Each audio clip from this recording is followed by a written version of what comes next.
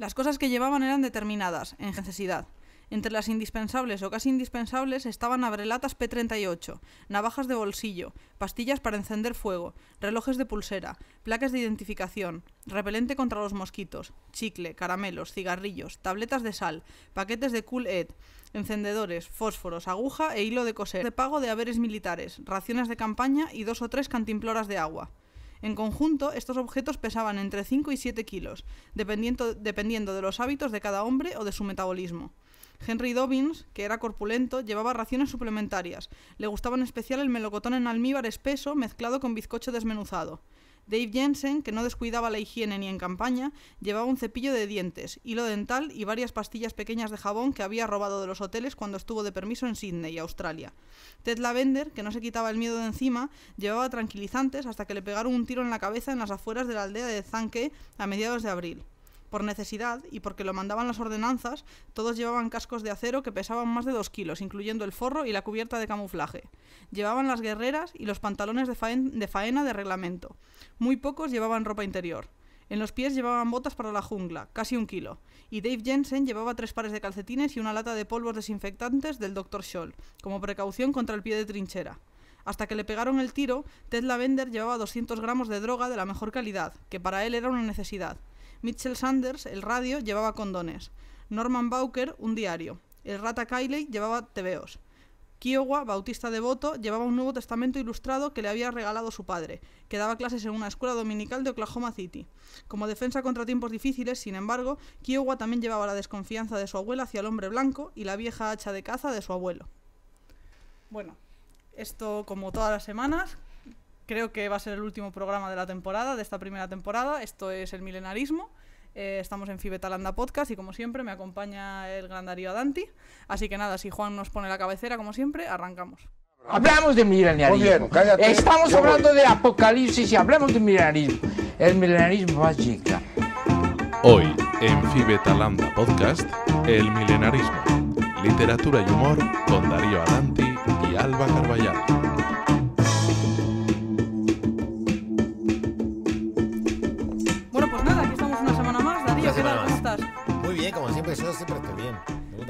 Bueno, Hoy tenemos un invitado de lujo, por cierto. Esta ¿eh? semana, te- para cerrar temporada, tenemos un invitado que la verdad es una, es una maravilla. Sí, voy a presentarlo. Ay, mira, ves que mira, cuando hablaste pincha. Esto es una cosa maravillosa, las cámaras estas.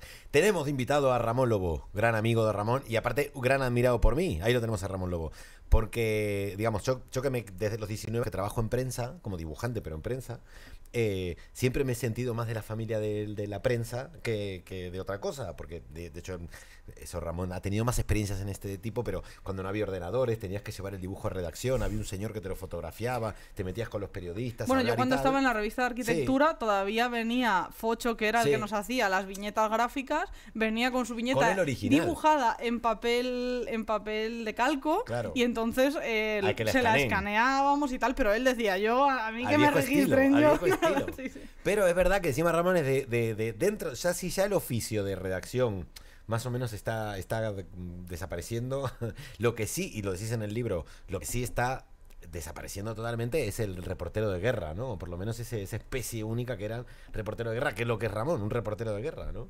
Sí, lo que ha desaparecido es el reportero pagado por una empresa con un sueldo fijo, en el mejor de los casos con seguros de vida, quizás eh, un suplemento de peligrosidad, en mi caso nunca lo tuve. Pero Suplemento de peligrosidad, Sí. eso lo hablas en la novela también. Sí, yo nunca lo tuve, eh, cobraba lo mismo que la persona que podía ir al cine por, la, Por a las tardes, Ujú. Eh, y lo que ha desaparecido también es el, el periodismo lento de estar un mes o más tiempo en un sitio para intentar entender las cosas. Eso ha desaparecido de momento. Claro. Eh, no en todos los sitios, hay periódicos en Estados Unidos como el New York Times, el Washington Post, el, el Guardian eh, británico y hay otros. Y algunas revistas así independientes que están y empezando, diarios ¿no? nuevos eh, digitales o revistas digitales que se intentan ese periodismo de largo aliento, como por ejemplo Anfibia Hmm. eh, en, en Argentina, revista extraordinaria. Pero de hecho, de hecho contás en la novela, porque acaba de sacar Ramón el día que, ma- que murió Kapuscinski, que es brutal, porque es una, está novelado, pero en realidad son experiencias de reporteros de guerra. Y, en varias guerras además, porque van, ¿no? Un reportero de guerra en general, hay una cosa muy graciosa porque los, recu- los recuerdos entre los reporteros de guerra son siempre en guerra. Es decir, ¿qué tal? ¿No te veías de Sarajevo? Sí, a ti en, en Siria, no sé cuánto, ¿no? Y la, bueno, la novela es brutal, a mí me tiene enganchadísimo, pero que contás también algo, que es que ah, también han desaparecido esos editores que decían, pero ¿dónde está la puta historia, no? Sí, el director que te dice, como en la película de Washington Post, ¿no? De dónde está la maldita historia o la puta historia. Eh, gente que te lleva a tu límite, gente que cuando le mandas un texto te dice no es suficiente, Claro. eh, necesito más fuentes, o que te está escuchando lo que estás diciendo y te dice, no, ¿y por qué no vas por este otro lado? Que igual hay una historia ahí.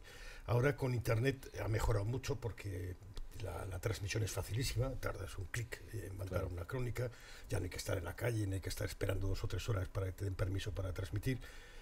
Eh, tienes la li- biblioteca de Borges a tu acce- a- Claro. para ti, o sea, en Google, que puedes ir comprobando cómo se escriben los nombres, eh, pero el defecto es que tus jefes también tienen Google y también Claro. ven la BBC y, y te encuentras con jefes que te llaman a Afganistán para decirte lo que, lo que tienes que escribir. Bueno, primero, da- primero buenos días, ¿no? Claro, sí. Y dos, ¿qué tienes tú? Sí, que, Claro. la, que la era de la libertad a veces la es para Sí. unas cosas, pero para otras casi que es al contrario, ¿no? Sí, el exceso de información. En España ¿no? tenemos un problema muy grave que no sé si está en el resto de América Latina, creo que no, en Sí. América Latina tiene menos, por lo menos el norte de América Latina. Sí.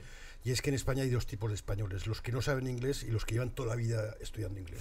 Claro. Entonces te encuentras jefes de estos que llevan toda la vida estudiando inglés, que te dicen, se han leído algo en la BBC, creen haber entendido una cosa Claro. y quieren que Claro. escribas de eso.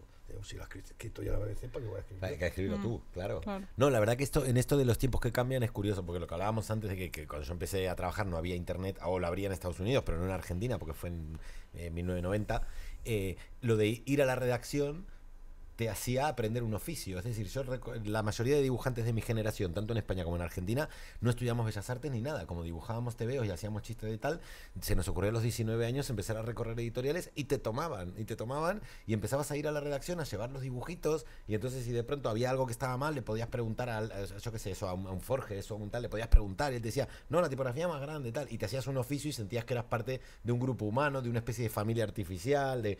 Luego viene el ordenador, y para mí que soy vago y me gusta estar en mi casa, eh, prefiero trabajar en mi casa e ir mandando todo por internet, pero es cierto que las nuevas generaciones se pierden un poco el hecho de tener que hacerse un oficio en el mismo lugar del oficio, ¿no?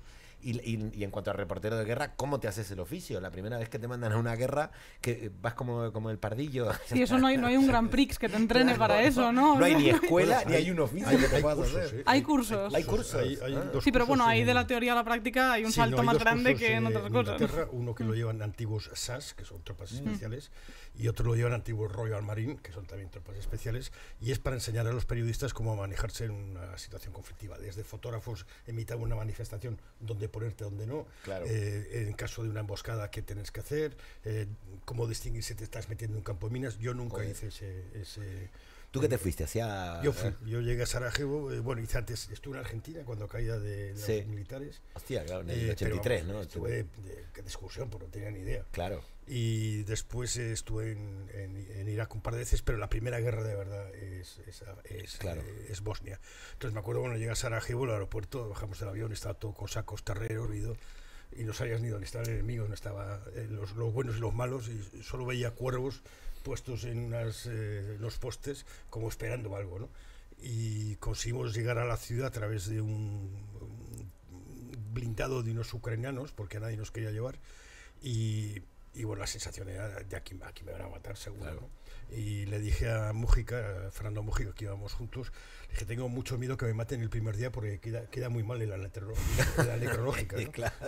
Llegar y besar el Su santo. primer guerra, su Sí, primer día. Y después Te ya cuando matan. vas varias, ya dice, bueno, ya, Claro. ya soy un veterano. Ya, Claro, ya ya estoy matan, aquí. Tenía experiencia. ¿no? Claro.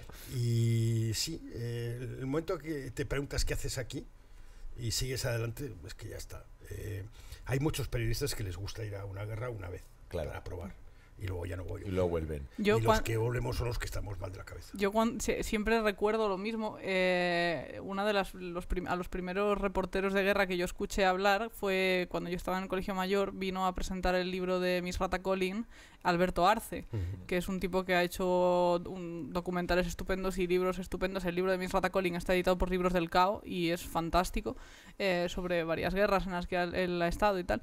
Y me hace muchísima gracia una cosa que él contaba, y es que él que tiene su familia aquí en, en Asturias y tal, a su niño y eso, y, en un momento dado dijo, "Joder, igual tengo que dejar de fumar. Y, y es, y luego él mismo se respondía, pero a ver, Claro. hijo de puta, que te estás yendo a guerras, encima él que, que se infiltra, que se cuela en un barco, que no sé qué, que va por su cuenta, que va como un poco freelance, tal, era como súper peligroso, siempre estaba en situaciones así, y dice, pero mm, ¿qué fumar? O sea, lo que tienes que dejar Claro. es de ir La a los guerra. sitios en los que te pueden matar, Claro. ¿sabes? O sea, estás pensando en dejar de fumar cuando lo más probable Es que te es ma- que te maten de aquí a, a tres telediarios, y ahí está el cabrón. Que, que no le ha pasado nada todavía, ¿no? total, O sea, como a que es- Ramón. Como a, eh, como a Ramón, que aquí está. Bueno, y Ali- yo, yo admiro muchísimo encima que son la- los cuatro periodistas que yo así como más admiro, que son, y, y todos son periodistas de guerra, porque son eh, Ramón, Olga, eh, bueno, Olga Rodríguez, Maruja Torre y Enrique González. Sí. Y encima los cuatro, gracias a mi, a otro gran admirado, pero que, que es como mi hermano, Pera Rusiñón, los he conocido además. Pero es muy loco porque sé que cuando nos, cuando de pronto Pera me dice, he quedado con Ramón y con tal, y yo quedo con esto, si voy, yo voy a escuchar ahí como fascinado y tal. Eh, eh, Pasa que también eh, tenéis como una relación muy especial los que habéis sido corresponsales de guerra entre vosotros mismos, porque os preguntáis por si sabéis de este otro periodista inglés que le pasó o tal. Seguís todavía como enganchados, ¿no? Con ese mundo. Sí, es que es el, el mundo que nos conecta. Eh, hay gente que, bueno, tengo aquí amigos que con los que coincido en guerras, que cuando estamos en Madrid no, no, no, no nos vemos, claro. ni nos Claro. llamamos, ni nada. No sabemos nada el uno del otro, ni nos importa. Es decir, no hay un intento de, de porque no hay ninguna conexión. La conexión es allí. Claro. eh, es haber visto las mismas cosas, eh, haber sentido cosas parecidas. Pero de esas cosas tampoco hablamos, ni Claro. aquí ni allí. Claro. Eh, si se habla eh, allí es porque te ha tocado una noche de whisky, Claro. porque está todo el mundo medio pedo y porque alguien le cuenta batallitas. Pero de repente a- abrirte en canal, eso a mí me pasó una vez en casa de Gervasio con, Sí. su, con su mujer Choco, que es fantástica, Choco Maldonado, y una novia que tenía, yo de Sevilla. Entonces cuando me vio que empecé a hablar, que me abrí en canal, o sea, no sé por qué. Sí. Y Gervasio se fue corriendo, porque Gervasio no quiere oír hablar de nada porque Gervasio va en una bicicleta y no puede parar en la bicicleta. Eh, esta amiga se fue también y me quedé con, con Choco varias horas. Esa, esa ventana se volvió a cerrar y nunca más abierto. Claro, qué fuerte, ¿no? Claro, que son experiencias súper extremas, ¿no? Y bueno, habréis, habréis visto que, que hemos traído a Ramón para hablar de la guerra, ¿no? Y, y en ese sentido, esto que dices de, de abrirte en canal es muy interesante porque a veces a lo mejor las cosas se, se vehiculan de otra manera, ¿no? Y en ese sentido a nosotros nos gustaría preguntarte hasta qué punto el humor es importante en una guerra, ¿no? Porque a lo mejor no eres capaz de, mm, o, no, o no, incluso no te conviene, ¿no? Abrirte en canal y ponerte sentimental y ponerte a llorar y decir, joder, esto menuda mierda, sino que mm, eso lo tienes que llevar por otro lado para poder sobrevivir, ¿no? Para poder eh, aguantar. Entonces, mm, yo no lo sé, nu- no, he estado en una guerra y espero no estar nunca porque si me pilla es porque está aquí, porque yo a la guerra voluntariamente no voy a ir nunca porque soy una cobarde, de, además de carné, ¿sabes? O sea, pero me llama mucho la atención y me gustaría saber si realmente el humor está presente en, en- en- en la guerra, ¿no? Cuando... Es una negación de la realidad, Claro. es una negación de, de los sentimientos eh, y es una forma divertida de, de sobrellevar el miedo. Eh, hay una escena que he repetido en varios libros, que en la Nochevieja creo que fue el 93 y 94, quisimos pasarla en un cementerio en Sarajevo, llevamos en, Enric Martí, que es un fotógrafo español, Javier Espinosa, Gervasio Sánchez, Sí. estaba yo y una traductora francesa. Subimos con una bolsa del corte inglés con copas y una botella de, de champán que la metimos entre las tumbas nevadas y nos quedamos ahí en una casa, fuera de una casa vacía, eh, viendo pues que el bombardeo serbio a las 12 de la noche como iban a dar las campanadas. De repente alguien dijo, bueno, habría que buscar una segunda posición por si esta se pone mala. Yo me asomé y dije, no hay más posiciones. Y, y entonces un bosnio que estaba abajo, no sé por qué, si pe- igual pensó que éramos serbios, empezó a dispararnos. Y a mí me, me- me contó una vez un teniente de la legión que cuando el disparo que te debe preocupar el sonido es el de la lata que se abre. Ese significa que te está disparando. Ese de pf, ese es un disparo que va hacia ti. El otro, el pium, pium, pium, ese puede ser en cualquier dirección, pero no va a la tuya. Este, la lata, es la tuya. Entonces yo oí la lata y dije, entonces me tumbé en el suelo. Y la gente se empezó a reír y, y al minuto El estaban- efectos especiales. Efecto bala. Sí, y al minuto estaban todos encima mío, ¿no? Estuvimos ahí 45 minutos sin poder salir, riéndonos, llegó un perro, le echábamos, que llamamos Radovan Karachi, fuera, no sé qué. Karachi. Perdimos el champán, por supuesto, no lo pudimos recuperar, lo metimos en el coche como pudimos, era un blindado, la mitad del coche era blindado. Nosotros caímos atrás, nos reímos mucho, pero nos podían matar. Claro. Y al día siguiente en el hotel todo el mundo nos preguntaba si éramos los locos del cementerio. Porque sentían las risas o qué. Sí, Bueno, no, sabían no, que habían estado unos en el la voz, que. Los locos habían subido al cementerio. Qué bonita historia esta, ¿eh? Entonces, de esas hay muchas que en Claro. el momento no eres consciente que te pueden matar. Claro. Y te están riendo. Tenía también, yo salía de un, de un refugio que había dormido la- con gente de, de allí. Casi todos eran rusos, curiosamente. Rusos Sí. bombardeados por rusos. Por los chechenos habían ido al sur de, de- de la provincia o de, de como quieras llamarlo. Y, y subía con un traductor que tenía muchísimo miedo, que me había puesto Pilar Bonet, que yo creo que era un espía y disparaban por encima de nosotros los rusos y pasaban misiles pues que se hallaban igual a un kilómetro y pico ¿no? y le dije eh, Andrei si me matan bueno, es una putada pero como me dejen sin piernas voy a montar un Cristo porque me acabo de comprar un quinto sin ascensor y a ver con qué seguro médico me suben a mí en brazos todos los días a casa.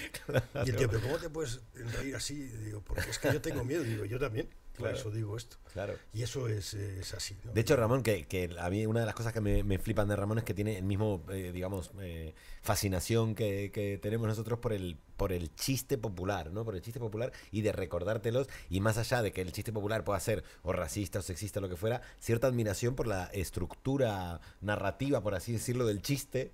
Y, y, te, te- y encima eres muy buen contador de chistes, o sea que te imagino contando chistes en la guerra. Un día en Sarajevo con Peláez, el de Televisa, Sí. y su cámara. Estuve, tal vez estábamos un poco, ¿no? Estuve como tres horas contando chistes y, bueno, hace poco me encontré con Peláez y bajó el cámara y se acordaba de la noche de los chistes, ¿no? Y sí, es una forma. Otro día en Kinshasa, con, éramos muy pocos en el hotel, que estaba un tío de la embajada americana, que seguramente era de la CIA, y yo iba contando chistes, pero os iba adaptando a la situación de Kinshasa. Estábamos ahí esperando la caída de Mobutu y tal. Y le conté un chiste que es un poco largo de... de- de- de- de- De contar. de- no, de artes marciales y cada vez que me veía hacía el gesto de las artes marciales.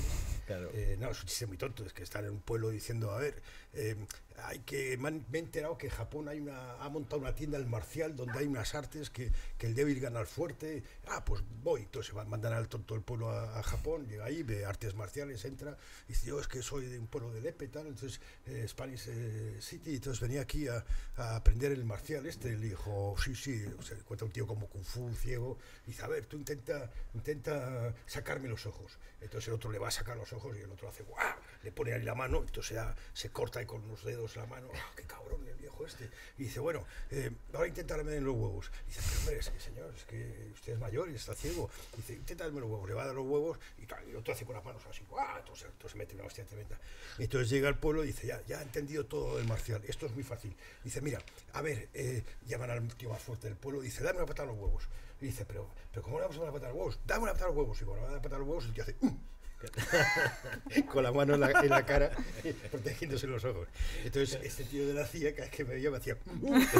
Qué bueno, o sea, se crean códigos ahí, ¿no? Entre... Sí, es divertido. Qué loco. Y bueno, luego estábamos, estábamos hablando antes of the record, que me da pena que se pierda, precisamente de esas colecciones ¿no? de, de chistes que son de humor tan negro, ¿no? Que, que se tienen en, en- en- en- en conflictos, ¿no? En- o en situaciones de, de conflicto. Y estabas hablando de, de- de una recopilación de chistes o algo así, un libro, ¿no? Hay, Y- dos, hay dos, uno que lo hizo un checo eh, en Praga, cuando la primavera de Praga recogió chistes Qué guay. de varios países eh, comunistas y se empezó a... Bueno, se- luego buscaremos la referencia y os la Sí, pondremos por la ahí. impresa, los- todo esto se lo sabe mi- Guillermo Altares. y, y entonces el, el libro y fue- se fue a imprimir y en ese momento invaden los soviéticos de arriba la primavera de Praga. El libro sigue su curso, se publica con 20 Pero era un libro todo de- sobre Todo chistes, chistes, de, claro. sobre los... Sí, sí, se Qué publica guay. el libro, 20.000 ejemplares, se vende, se os agota en dos minutos. Y cuando le detienen al, al- al autor de la recopilación, le dice el juez eh, comunista, muy serio, pro-soviético, eh, usted está en contacto con la CIA. Dice, ese es el mejor chiste que. Es una pena que no lo pueda meter en mi libro. El libro. Y hay otro de un americano, eh, también que es una recopilación de chistes. Eh, lo puedes ampliar a cualquier Sí, claro. dictadura. Claro, es decir, es, total, es- sí. es rebelarte contra el poder, es reírte el poder. Pero de hecho, fíjate de esto de que, de que hay eso, mu- muchas teorías, ¿no? De que el humor sirve para eh, de- de- eh, oponerse al poder, derrocar el poder. Yo creo en realidad que es más una catarsis de impotencia que otra cosa. Sí. Porque la, de hecho, en el caso de Franco, está, esto está, estu- está estudiado, entre comillas. eh, Franco ha sido el dictador que más chistes populares ha generado. También por el espíritu español, ¿no? Bueno, y Hay- también porque fueron 40 años. también porque fueron 40 Quiero años, decir, es verdad, da mucho sí, tiempo a sí. muchos chistes. Mussolini duró lo suyo también. Sí, pero también es verdad. También es verdad que aquí no hubo una catarsis como verlo horcado y estas cosas que también son una catarsis, ¿no? Pero Franco hay como, hay dos, yo tengo al menos dos libros sobre chistes de Franco y el, el, el artista, el artista que es amigo, aparte de Eugenio Merino, tiene recopilados aparte como doscientos y pico de chistes sobre Franco. Y ahí está, murió de viejo Franco. O sea que no, Ya. el chiste, eh, todos somos fan del chiste, pero es más una necesidad personal humana que, que tenga realmente un poder, que poder Se no tiene ninguno. muerto de risa. Claro, Muerto de risa, claro. Eso era mucho mejor. Total. Mira, No sé. quería leer una cosa de Vonnegut cortita Dale. sobre esto, que esto seguro que Ramón se va a sentir muy identificado. Cuenta como, como Kurt Vonnegut, que aquí hemos hablado mucho de él, porque es como uno de mis... De mis Sí, están eh, Aristófanes y Curbón. Total, sí, son de santos literarios. Eh, cuenta en este libro que se llama Un hombre sin patria, que en realidad es un ensayo donde él se declara básicamente anarquista y que se avergüenza de lo que, a partir de Bush y de la guerra de Irak, se avergüenza también de lo que es América y tal, y no sé qué, y dice que no tiene patria, ¿no? Pero recordando sus épocas de Dresde, de que él, él vivió como prisionero de los alemanes, prisionero americano de los, de los alemanes, lo metieron en un campo de trabajo forzado en Dresde y vivió el bombardeo, el bombardeo aliado a Dresde, que es un tema muy complejo porque son los buenos, están bombardeando y están matando un mogollón de gente. Cuando ya no era necesario. Y cuando ya no era necesario. Y entonces él cuenta lo siguiente, por ejemplo, que tiene que ver con esto que dice Ramón, que dice, mientras estábamos siendo bombardeados en Dresde, sentados en un sótano con los brazos sobre la cabeza por si nos caía el techo encima, un soldado dijo, como si fuera una duquesa en su mansión durante una noche fría y lluviosa, me pregunto qué estará haciendo esta noche los pobres. Nadie se rió, pero con todo, con, con todo nos alegramos de que hubiera dicho algo. Al menos todavía estábamos vivos. Él, él nos lo había demostrado. Es decir, no importa tanto el chiste en esa situación, como en este caso, que era una chorrada, sino básicamente que la, la sensación de que estás vivo porque en el fondo sigues aplicando cierta creatividad jocosa ¿no? a, Es una a la situación más lo que terrible. te ha ¿no? tocado. Claro, Yo una recuerdo un contra lo que ha chiste tocado. Sí, un qué chiste guay. de Quino, que además Sí. de estos que copié luego al, al calco. Sí. Bueno, yo no sé dibujar, pero lo copié, que me encantaba, que era, eh, no sé si se publicó aquí en Triunfo o en no, sé qué revista. Sí. Era un montón de gente muy seria y un tío sonriendo en el medio Hmm. y al lado dos tipos con sombrero diciéndole documentación, por favor. Oh, qué bueno. Y seguro que lo hizo durante la dictadura y todo, el cabrón, ¿eh? Porque era, la, la chistes risa, la sonrisa es, es una mofa del poder, es una forma de no obediencia. ¿no? No, total. Sí, sí, sí. No, no, es acojonante. De- luego contás también en la, en la... Bueno, no, antes de vamos a hablar de la novela, vamos a hablar de, no tanto del libro, de Cuadernos de Kabul, o de Todos Náufragos, o de, o de los demás libros que tenés, pero algo que yo cuando en su momento me, me leí el, el- el de Kabul, que es historia de gente normal. Todos y- náufragos tengo que decirte que es uno de los títulos más bonitos Sí, que yo he precioso, encontrado. sí. En general, de, de todos los libros que, que yo he leído, ese, ese título me parece una preciosidad. Sí, Yo creo que es el mejor libro que he hecho. Todos Mira. los No, a mí, joder, me está flipando la novela y este me encanta, Es una maravilla. Ah, a mí me obsesionan esas cosas Sí, también. no, ¿eh? porque de esto que no lo vi, pero que bueno, se entiende el contexto, Sí. que digo que Hemingway llegó en enero del 39, claramente llegó en enero del 36, 36. 36, claro. claro. Ay, pero, a ver, a mí me pasó también en el disparo al humorista que puse que, pero también fue error de esto de, y no se dio cuenta ni los correctores, pero por que, que Darwin en el, en el Beagle había entrado en la Patagonia en 1931 en vez de 1831. Decís, coño, pues estaba más muerto Darwin ahí, ya estaba hecho ceniza, ¿no? Pero bueno, que lo que te decía de que de cuerpo presente, tanto tú como Olga, eh, bueno, como la mayoría de reporteros de, de guerra que conozco, Maruja y Enrique, eh, todos sois de izquierdas, ¿no? yo me Por lo pregunto, por lo que sea, sois todos de izquierda, como yo soy de izquierda también. Alba, Alba también no quiero, bueno, eso no te Mm. Sí, quiero sí, sí. cosificar ideológicamente, pero, pero claro, cuando, cuando lo lees y ves que vosotros, y lo decís en este libro en un momento y por eso lo relacioné con este, que cuando, cuando los, reporteros de guerra, cuando estáis en la guerra, sois los que veis los grandes movimientos humanos huyendo de las ciudades bombardeadas, ves a las familias con los niños bombardeados, heridos, y ves to- todo lo peor, digamos, lo peor de la especie humana, que, no, que es el- el dolor provocado a los que menos tienen. Entonces, ante esa experiencia, ¿existen reporteros de guerra de derecha? ¿Se puede ser de derechas viendo toda la miseria humana que genera el comercio? ¿Los hay. Este, Miguel Gil era católico.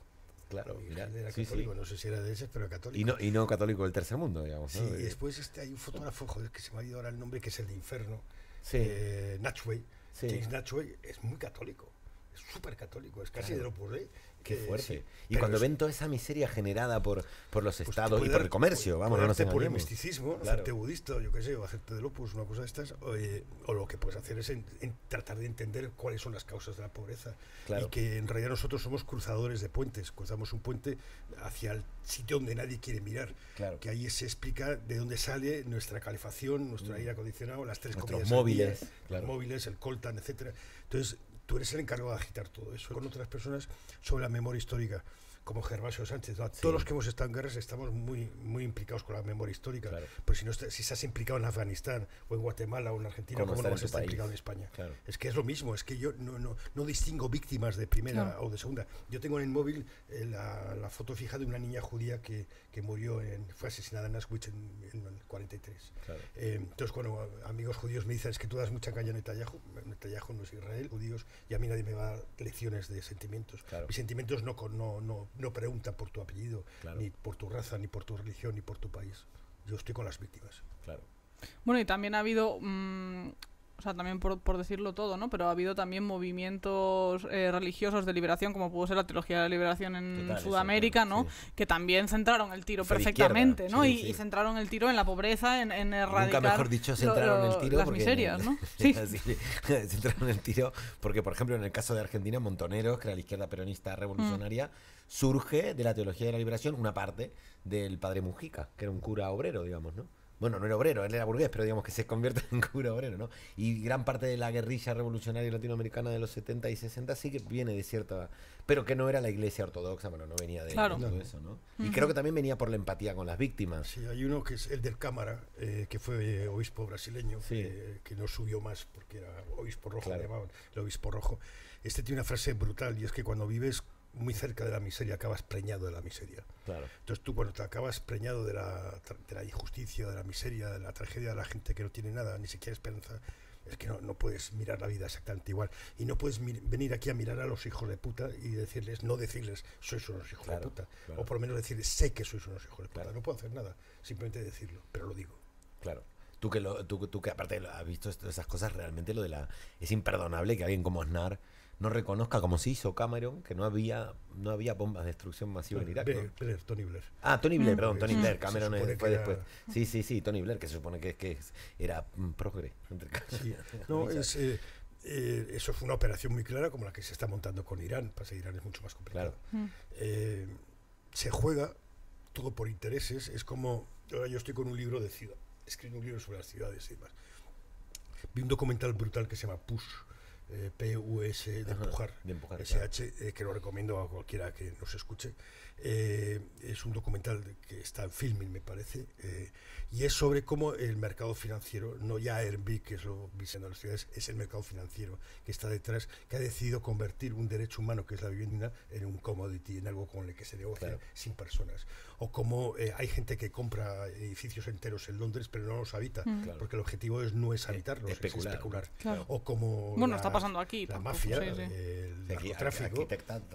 Claro, Sí, compra, sí, sí. compra Bueno, pequeños yo y hoteles y pequeños sitios a un precio de su Sí. habitante porque es un dinero que se blanquea en los paraísos fiscales, que es donde coinciden los que defraudan. El capitalismo de verdad que cumple las normas, con el que no cumple, eh, con los que venden armas, con los que venden droga, trafican personas, todo eso está ahí y luego todo sale bendecido. Mm. Entonces nuestro trabajo es denunciar eso. Además son gente que no paga impuestos. Pues mira, hay dos libros que a lo mejor te, te gustan si estás escribiendo sobre ciudades y eso. Uno ya lo recomendé el otro día, pero es que es un libro tan bueno que no me importa recomendarlo dos veces, que igual ya- seguro que ya lo conoces. Eh, se llama Planeta de Ciudades Miseria, bueno, Planet of Slums en inglés, que es de Mike Davis, que es un sociólogo y, geogra- y geógrafo, creo que es inglés, pero nunca sé si es inglés o americano, porque luego estuvo... Di, di británico por si acaso es escocés. Exacto, Claro, sí. claro, mejor. No lo sé, no lo sé, porque eh, sé que est- estuvo dando clase muchos años en Estados Unidos, pero no, no me acuerdo nunca si es de un sitio o del otro. Y, mm, y es un tipo que básicamente escribió, ha escrito este libro sobre eh, la- los suburbios, los enormes suburbios de las grandes ciudades de India, de China, de tal, y de cómo las- la- los asentamientos informales eh, se vuelven formales en el fondo, ¿no? Porque eso lleva ahí 40, 50, 60 años, cada vez más grande y cada vez más establecido, ¿no? Y es una maravilla del libro. Y luego hay otro libro que no me acuerdo exactamente cómo se llama, pero es de David Harvey, que es otro autor maravilloso, que es sobre París, en concreto. Creo que se llama París, capital de la modernidad, pero no estoy 100% segura. Ese lo publica Acal, en estos libros rojos de Acal. Y, y es un libro fantástico que habla precisamente sobre la construcción de París, sobre cómo París, cuando llegó el barón Osman y tiró todo el centro y dijo, "Mm, por mis cojones, va a pasar por aquí eh, la radial que sale del Arco del Triunfo y voy a hacer las avenidas estas enormes. Claro, eso fue un desplazamiento, fue la gentrificación a lo bestia. O sea, fue en vez de la gentrificación capitalista, la gentrificación de, eh, por mis huevos morenos, mm, esto lo barro yo. Entonces, claro, en lugar de ser gradual, que es lo que pasa hoy en las ciudades, que poco a poco se va desalojando tal, es, es el mismo proceso, pero eh, reducido a 10 años o a 15 años, que es lo que tardó en hacer las obras de París, ¿no? Y es muy bonito ver ese proceso en tan poco tiempo, porque en el fondo es muy aplicable a hoy, solo que hoy se hace con más sutileza porque el mercado eh, eh, lleva sus propios Claro. ritmos, ¿no? Pero en el fondo es lo mismo. Y son dos libros que son fascinantes, la verdad, a mí me Hay gustaron otro mucho que los se llama La ciudad solitaria de una mujer que se llama Apia Lane. No sé si tiene que ver con el antipsiquiatra. El libro es fantástico, es una experiencia suya en Nueva York. eh, Ah, pues lo buscaré, eh, no lo conozco. eh, que es uno de los que yo me he ido tomando muchas notas, he visto muchos documentales, he visto documentales sobre Hopper, sobre Sí. Munsk, es un poco la soledad, ¿no?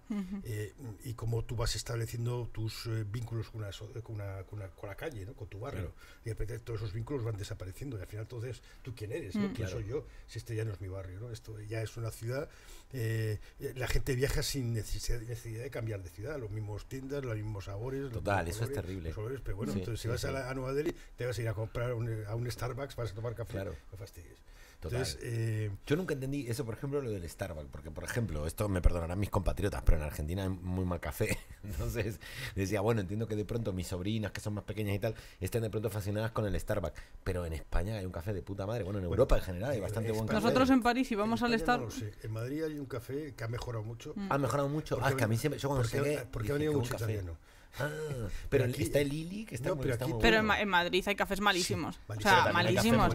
En Galicia sí que, La por ejemplo, que ponen el café de pota, que es una cosa un poco Exacto. particular, pero por lo No, menos está rico. Igual que el café de olla mexicano, que a mí Sí. me flipa. Y en Portugal y ponen buen café, pero, Sí. pero Y aquí... donde- en cualquier sitio donde han pasado italianos hay buen café. Kosovo, Claro. buen café. Albania, buen café. Claro. O sea, por donde han pasado los italianos hay buen café. Nosotros, tú vas a un bar y dices, me pone un café y te ponen un abandono. Entonces te ponen Sí. ahí y se van. Pero tío, no te vayas, quédate Claro. ahí hablándole, y todo lleno de pozos. Claro, ¿qué es esto? ¿Qué es Sí, esto? que- pero, que te juro, no sé qué va en. Buenos Aires, que Buenos Aires, teniendo tanta influencia italiana, es italiano. muy mal café, ¿eh? Muy mal café. Nosotros- no sé por qué. Yo cuando nosotros- era chico no recordaba que había tan mal italianos café. han conseguido que buen café. No, no, mira que- Ahí se mira pone lo el gen argentino. Pero era, es terrible porque realmente toda la, la cultura literaria en Buenos Aires, no en Argentina, en Buenos Aires era a través del café. Así como en España salen a tomar cañas, en Argentina íbamos a tomar café.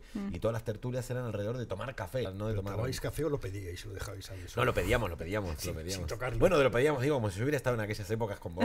Lo pedíamos, lo pedíamos, sí. Cortázar, no, no, ni lo tocaba, Ni lo tocaba. Y Borges creo que, que manoteaba y nunca agarraba la taza, bueno, la veía, entonces estaba ahí como... Que yo tengo una cosa que decir de Borges, que siempre se dice... Yo soy muy fan de Borges, ¿eh? esto lo digo con todo el respeto. Se dice, gran lec- era un gran lector, no sería... Perdón, era un gran escritor, no sería un, un gran... eh, un gran eh, ¿Cómo se llama? Le dictas un gran dictador. Porque él dictaría los libros, ¿no? Porque no veía el hombre. Bueno. Entonces diría, punto, coma. Eh, abre comillas. Bueno, eso se dice, dice que lo hacía, que lo ahora ya no escribe, pero que lo hizo durante muchos años Antonio Gala, que Antonio Gala escribía Sí. su primera versión manuscrita del Sí. libro. Esto yo además me lo, me lo han contado de primera mano porque estuve allá en la Fundación Gala escribiendo mi novela y tal. Y, y el secretario, que él siempre tenía un secretario, o sea, él escribía su primera versión y para pasarlo a máquina él, Antonio, le iba dictando y entonces iba haciendo modificaciones por la- según, según le iba sonando en voz alta, decía, no sé qué, no sé cuánto, una, aquí coma. O veía un verbo que no le gustaba y el ritmo y lo iba cambiando. Claro. Entonces iba dictando, pero porque lo iba modificando, pues Claro. es como un método Debe un molar poco dictar, como de... Sí, te- bueno, a mí se me daría fatal porque yo, Sí. si no es por escrito, yo de Sí. hecho... Yo también, yo, estoy- pienso mientras escribo y lo de tardar en escribir me sirve para cual. pensar, ¿no? Y yo te diré que yo creo que si yo hubiese nacido hace 40 años, yo no habría sido escritora, porque a mí esto de no poder corregir... Ah. eh, en plan, yo es que tengo que borrar... Claro, yo es que además empecé yo- coquina a escribir. yo que voy eh, dejando normal. la frase tal cual, la frase lo más perfecta Claro. posible, porque es como mi forma de hacerlo, y es como, hasta que yo cierro la frase, es como borra y vuelve, y borra y vuelve. Entonces Claro. yo creo que no- me habría vuelto loca. Es loco, yo como Me empecé, tacharía, y mi ¿no? madre me mandó además, que para mí es de las mejores cosas que hizo mi madre, porque me mandó ayuda y a la tercera galleta que me comí no quise ir más. Me mandó a natación y me agarró titis y no volví más. Todo lo que era deporte no volvía. Y en cambio me mandó, dijo, pues algo este chico tendrá que hacer. Y me mandó a mecanografía, cuando yo era adolescente y nunca ir a- yo solo porque en ese momento Además te encima- habría mandado también para el tema de la dislexia, que te y de la- vendría y no, y bien. aparte era de la dislexia, claro, totalmente. Era porque soy disléxico, entonces lo de escribir con máquina de escribir era mejor. Y la, y, pero era una época, imagínate, recién salidos de la dictadura, en el año 84, recién salidos de la dictadura, era raro. O sea, era raro porque eh, mecanografía se le enseñaba a las mujeres porque las mujeres estaban destinadas a ser secretarias. secretaria, No, los tíos no copistas. necesitábamos Te escribir. ibas a ligar, ¿no? ¿Cómo? Te ibas a ligar. Yo fui, no, yo era muy tímido, yo ligado, ¿no? Yo sí, sí, sí, hasta mi pareja me ha ligado a ella, porque yo eso no sé cómo se hace. O sea, o sea, me parece muy, muy cansado, muy zoológico todo. Lo veo como los pavos reales en el zoológico. como, Hay que cambiar la voz, hola, ¿qué tal? A mí eso no me gusta. árabe para, para- por una chica. Me gustaba- sí? me- pues, cuau, no, no, no, aprendí árabe. Claro, Es que alguien que va a la guerra es capaz de cualquier cosa. Ramón, yo no he ido a la guerra. Eh, ¿qué voy a fui dos meses a árabe? clases con un sirio particular porque Sí. me gustaba la chica Y y de- la comunidad de la facultad. eh, no aprendí nada. y Claro. s- salimos un poco, pero me dejó enseguida. Hostia. O sea, que ni chica ni árabe. Ni nada. Nada. No, pero a mí me gustó lo de, lo de, lo de aprender mecanografía porque aprendí a escribir con todas las, con todas las manos. Y te enseñaban llaves eléctricas, pero te enseñaban con las, con las tal. Y, y aquí viene la pregunta, ¿cómo hacías? Pues cuando tú te fuiste al- al- a, la guerra, ahora ya no, digamos, ahora no, pero en- ¿cómo no había portátil? ¿Te tenías que llevar la puta máquina a escribir? ¿O No, era...? yo- Dictabas, yo ¿no? O ya una había grabadora o algo ya así, Había eh, yo empecé en 80 y 92. con ese- Joder, yo no tuve ordenador. Joder, en el hasta 92, na- en el 95. 92 nací yo. Claro, eh, qué barbaridad. Pero había ordenadores que pesaban mucho, más... eh, Yo eh, tenía 20 años, No, imagínate. no- no teníamos satélites, porque los satélites eran enormes, y Enormes, solo tenían las claro. televisiones o las grandes agencias. Tenías que ir a France Press y estar dos o tres horas esperando a que te dijeran, venga, manda. Claro. Y después ya empezaron a surgir los fax satélite, que El tenían el problema que tú mandabas el fax, pero no sabías nunca si ya había llegado. Claro. Entonces luego había que buscar un teléfono para llamar, oye, ¿ha llegado o no ha ¿Ha llegado? llegado o no ha llegado? Me vine a España en el, en el 96, enero del 96. Yo no tenía ordenador, yo no tuve ordenador, yo no tuve ordenador hasta el 97, 98. Eh, y entonces yo seguía eh, trabajando para Página 2 en Argentina. Entonces yo tenía que mandar mi chiste, que era so- sobre, encima era sobre libros, eran chistes sobre libros. Lo tenía que mandar cada semana porque vivía aquí de eso. Y, lo tenía que mandar por fax también. Y era muy loco porque tenía que hacer el dibujo súper grande porque como aquello pixelaba todo, para cuando lo redujeran no se Claro. notara. Pero eh, antes de eso de que tuviera ordenador, ¿cómo hacían los, los, los reporteros de guerra? ¿Era libretas y le sacaban Sí, fotos? libretas o máquina de escribir. Y máquina de escribir la Sí, cargaban ahí en medio de la batalla. las portátiles estas. Ah, unas pequeñitas. Como claro. una maletilla, ¿no? Sí, una así. maletilla. Mm. Otro tema que tocas también, que, que tocas también siempre es la importancia del alcohol en los reporteros de guerra, ¿no? Yo ahí el problema de la novela es que eh, hablo todo el rato de Juanito Caminador, que es eh, Johnny Walker Tequeta Negra, que es el que vivía Juan Carlos Gumucio, al que le dedico el libro. Luego su, que- claro, su personaje, que es Roberto Mayor, luego lo colonizo yo y soy más yo que él. Claro. Porque vive en una época que Juan Carlos ya no estaba vivo. Sí. Eh, yo debía haber puesto ron, porque ahora me regalan botellas de, De ron, de, de de- tequita negra, Sí. y a mí no me gusta mucho el whisky. Entonces, Claro. eh, ahí tengo una que me voy bebiendo poco a poco, pero me gusta mucho más el ron. Pero el, el, digamos, el, el alcohol en los hoteles de periodistas, donde van los periodistas. Sí, es más eh, mito que realidad, pero Ah, sí, sí. no, porque pensaba esto de cómo, por ejemplo, en países árabes durante la guerra, de cómo lo pasan, cómo pasan el whisky, cómo pasan no sé qué, hay como historias Yo ahí, ¿no? es que eh, acabas tan cansado que cuando Sí. te vas a dormir eh, no piensas en nada, ni en sexo, ni en... Mueres ahí, nada, eh, mueres. literalmente. A veces eh, sí, un porro viene bien eh, para dormir, Sí. sobre todo en Sierra Leona, por ejemplo, me, me vino bastante bien. Eh, ¿Y eso cómo lo conseguías ahí, los Pues traductores? ahí, ahí siempre se consigue todo. Se consigue todo.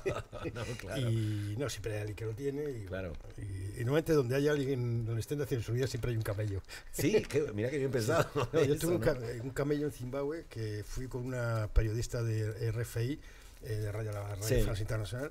Fuimos ahí y me dijo, ¿te vienes a- a- al camello? Te lo vamos a comprar. Yo dije, vale, yo di 100 dólares, llegamos ahí y saca el tío eh, cocaína y Sí. pone tres rayas y yo no tomo nunca cocaína.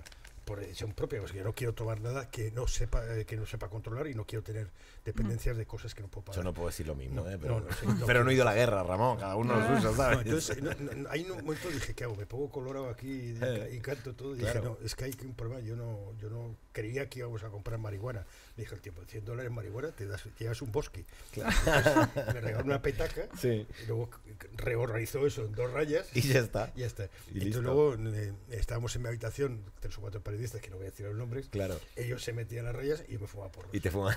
y Yo hubiera sido luego el que cuando hacía las dos cosas. España, ti- tiré, tiré la marihuana por el bate porque me Claro. miedo de salir encima y con marihuana Claro. encima, me pillan y, No, te he ido mal, claro. no, y podía ser mal. una excusa para meterte un buen paquete. Joder. Qué fuerte. Y están muy rodeados de, de- de espías, ¿no? Antes decías, este sería espía, el Sí, traductor aquí Me ruso. invité uno, me invité uno británico eh, que, sí. que al principio era un juego y luego le vi que tenía, que tenía crecimiento y podía ay- ayudar. Son de esos personajes que ayudan a coser Claro. la sensación de continuidad Mm. de la novela. ¿no? Eh, sí, claro, hay espías. Los españoles son muy divertidos porque estás eh, con un tipo de CNI y no pasó un minuto ya sabes que es del CNI. Ya te das cuenta, ya te lo ha dicho. Claro, claro. no es que te des cuenta que te lo ha dicho. Ya, tío, pero si es que si eres espía... Claro. No se cuenta. Bueno, pero estamos entre amigos. ¿qué? Amigos. Y bueno, tuve relación con uno que se llamaba Alberto Martínez, que era comandante, que lo mataron en, en Irak, me dio muchísima pena, me acuerdo mucho de él, que me ayudó bastante a entender Irak y, bueno, y también me preguntaba porque, por mi seguridad, me dice, ¿dónde, ¿dónde estás? Digo, estoy, estoy en el Hotel Sheraton de Bagdad, ¿en qué piso estás? En el quinto. Muy bien, muy bien. Porque más abajo no, porque si entra un suicida, el primero, segundo y tercero puede afectarte. Eh, si tiran un misil, el, solamente va más arriba al quinto.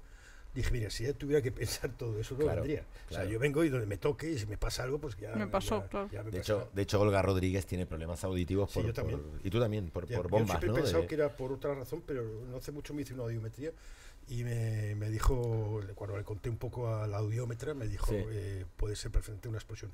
Yo tuve una brutal con, con Julio Fuentes, que estábamos en una casa escribiendo eh, en la oficina de EPA, Sí. eh, con una fotógrafa que mataron no hace no mucho en Afganistán. Estábamos ahí, eh, Julio era muy sordo y tenía siempre el aparato puesto, pero lo tenía sin pila, lo tenía Mm. desconectado para ahorrar pila. Y ese día lo tenía puesto, no sé cómo, Joder. Uf, pobre. y con cayó, pila. nos cayó un pepino al, al lado de una calle muy, muy estrecha. No hubo ningún riesgo para nosotros porque íbamos a 100 metros hacia atrás, Claro. ¿no? pero el sonido fue tan brutal que acabamos todos en el suelo. O sea, yo no sé fue, si fue el bote de susto O el sonido, ¿no? La onda sí. de sonido también. Y, y yo tuve el sonido físico, metido en la, ¿no? en la cabeza En la durante cabeza. varios días y Julio Wow. le duró semanas, porque como Claro. había entrado con el aparato. Entonces puede ser. Villa Padierna es otro que también tiene problemas de audición y fue en Osijek. Eh, Pilar Requena tiene problemas de audición. Un día estábamos los tres, eh, Villa Padierna, Requena y yo en, en- en Belgrado. eh, eh, Villa Padierna con un aparato, ella con dos, yo con uno. Y como nos van a pensar Claro. que los españoles estamos todos mal hechos. Tanto trompeta, tanto teniente, tanto todos sordos. Es muy divertido. Pero bueno, eh, ¿Y a mí cómo- me ha venido muy bien. Y, y una pregunta, porque hablando, hablando de libros también, porque el, digamos, cuando antes de tener que ir a una guerra, obviamente te tenés que informar muchísimo sobre la historia de ese país, No demasiado. ¿no? Hay dos tipos de Ya te lo, ya te lo sí, cuentan ellos. Porque digo, a mí lo que mejor, más me ¿no? gusta del periodismo de guerra sería lo de leer los libros antes de irse. No. Ahí no me molaría. Hay- pero Que mandas a otro, a tu gemelo, Yo ya me estudio la historia de Irak y ahora te das cuenta. Hay ¿no? gente que le gusta eh, hiper prepararse. Sí. A mí eso me, no me gusta. Te condiciona de Me alguna condiciona manera. Es verdad que tú, Ramón, eres más del diálogo con la gente normal. ¿no? Yo necesito sorpresas. Eh, necesito ir bastante desnudo. Obviamente sé a dónde voy, tengo una- unos conocimientos mínimos. Eh, está ahora Google que Claro. antes Sí, llevaba- ahora no había, Mm. antes sí, no había. llevaba claro. una carpeta con un montón de documentación, me leí algún libro en el avión. En, la- en los periódicos te lo daban, ¿no? También, si Sí, pedías. pero yo necesito la sorpresa. Necesito ir un poco como el lector. Sí. Eh, soy el representante del lector ahí, me tengo que sorprender como es. Si, si voy y ya me lo sé todo, eh, ya no voy a hacer preguntas, voy a ir a comprobar lo que yo ya sé. Claro. No, yo tengo que ir a comprobar lo que no sé. Es la diferencia entre Claro. el turista y el viajero. Claro. El viajero no, no busca, encuentra. Claro. El, el turista busca. Nosotros encontramos y eso es un poco de la esencia de este trabajo, es encontrar a personas que cuentan cosas. Yo, la verdad es que em, hay muchos libros como muy teóricos sobre el tema de la guerra o las guerras, bueno, que desde Howard Zinn o, o Hobsbawm, o bueno, un montón de gente que ha contado cosas, ¿no? Pero a mí al final los que más me interesan suelen ser los de testimonios. Yo uno de los libros más bonitos y más... eh, además tiene un punto de humor muy oscuro, pero ahí está, ¿no? Es este libro de Svetlana Leisevic de La guerra no tiene nombre de mujer, creo que se llama en español, que es... eh, un libro que básicamente, como todo lo que, bueno, casi todo lo que ha hecho ella, son testimonios de, mujeres que han vivido la guerra, pero claro, como no son hombres y no van al frente a batallar, lo viven de otra manera, pero al final son las que sostienen el país, porque eh, son las que hacen todo lo que tienen que hacer ellas y lo que antes hacían los hombres para que todo siga para adelante, ¿no? Claro. Entonces, y claro, se llama eh, La guerra no tiene nombre de mujer porque eh, son como eh, víctimas de segunda, porque como no están en el frente, pero mm, mueren igual, hay violaciones, hay un montón de movidas, ¿no? Y es un libro que está construido a base de... mm, de, de- de, pues eso, de relatos, ¿no? Y ella los lit- hace literatura con eso, pero eh, mantiene como el testimonio y la estructura y tal. Y me parece que eh, tiene mucho valor eso de, de respetar la voz de quien te lo cuenta, ¿no? Claro. Eso es, es precioso, la Es verdad. Bueno, acá, si lo tienes- haces, acá entrevistas. Sí, es cierto que si tienes conocimiento profundo, eh, se te ocurren historias. Sabes que hay una historia en Claro. algo, en un puente, por ejemplo. Claro. Que allí Claro. mataron al archiduque, ¿no? Tú ya sabes que hay una historia. Pero es que eso te lo van a contar allí. Claro. Eh, después, yo creo que un medio grande tiene que tener la posibilidad de tener distintos tipos de periodistas. El periodista que le interesa las voces, el, periodista que sabe mucha historia. y que te y contextualiza pone- y te da y que- sí, te un- una cosa todo, general, ¿no? Claro. Eh, yo creo que la suma de todo eso en un medio es lo que permite que ese medio sea imprescindible y que Claro. merezca la pena pagar por él. Eh, un medio grande debe tener todo tipo de periodistas. Eh, nosotros teníamos a Alfonso Armada, eh, que es más teatral y sufría mucho. Eh, Gumucio fue también Sí. allí y se hizo, y bueno, meses después todo el mundo se acordaba de él, porque por donde pasaba Gumucio era como si hubiera pasado un huracán. Eso, mira, voy a, voy a contar. Gumucio es, es- Él era boliviano como Boliviano, el protagonista, ¿no? Sí, sí, Y boliviano. trabajaba para, para Inglaterra. Para prensa británica, primero Lupi en Estados Unidos, luego en el Sunday Times. Pero ha sido como un clásico, ¿no? Sí, hablaba un inglés maravilloso, maravilloso. Estuvo en la guerra de, de Líbano en Beirut. eh, era un tipo entrañable, era un- Sí. de esos que digo en el libro que cuando sonríe se ilumina, se ilumina Sí. una calle. Pero eh, no paraba de invitar a gente, quizás por eso nadie sabe, Claro. todo el mundo se acordaba de él, porque tenía, es como si estuviera comprando el cariño de todo el mundo. ¿no? Eh. Eh, era un tipo con, como le pasa a muchos cómicos, que tienen, que son capaces de hacer reír a los demás, pero a ellos no. Claro. ¿no? Eh, Robbie Williams, por Sí, ejemplo. sí, claro. Y entonces, bueno, él tenía ese, ese, ese mal, él tenía el mal dentro, el mal de soledad interior, Mm. ¿no? que llamo. Y, y no le sirvió nada, ni el whisky, ni, ni las drogas, ni nada, falló, le acabó devorando todo eso. O sea, él al final termina muriendo por eso. Sí, se suicidó, suicidó. Uf, Entonces, claro. eh, yo es un tipo que cuando se suicidó me, me quedé muy impactado porque aparte de que le quería mucho, eh, nunca se lo dije. claro, eh, entonces, bueno, el libro es una forma de decirlo. claro. Qué impactante, ¿no? Alguien que ha sido a tantas guerras y que termina suicidándose, ¿no? Sí, hay muchos casos. ¿eh? Muchos Que, casos. hombre, ¿no? no me extraña, porque es que, a ver, quiero decir, Claro. eh, al final ahí. lo que ves eh, te, te cambia la mirada, entiendo Es que yo, es ¿no? Es como... una cosa, no solo que no te maten, que es bastante importante, sino que no te vuelvas loco. O sea, que no pierdas la referencia de quién eres y dónde estás y cuál es tu trabajo. Claro. Eh, tu trabajo no es salvar el mundo, Claro. tu trabajo es contar cómo es el mundo. Y a que- veces seguramente mm, incluso podrías hacer algo, pero intervenir es como intervenir en un ecosistema que no, que no te pertenece en el fondo, porque tú, claro, tú no puedes salvar todo lo que está pasando ahí, tú puedes en un momento dado ayudar a alguien, pero tampoco sabes hasta qué punto estás que siendo justo, ¿no? Y es que o sea, es, que es todo eso. el mundo que yo he intentado hacer algo por él, la ha palmado. Joder. Eh, entonces, Claro, eh, te eso una te queda, ¿no? sensación. Sí, me encontré dos niños en, en Congo con Tomás y fotógrafo, Juan Carlos Sí. Tomás y fotógrafo de Médicos. Sin fronteras encontramos dos niños que lo comían, estaban desnutridos, pues la madre no tenía leche, había matado al marido. La, entonces lo- los cogimos y salimos de la tienda. eh, nos había llevado a la tienda la, la madre de esta mujer y tal. ¿no? Entonces salimos con los niños. Yo, yo estaba muy contento porque estaba de alguna forma vengando la memoria de otro niño Sierra Leona que había muerto. Y, y de repente, yo mi sensación seguramente no es así.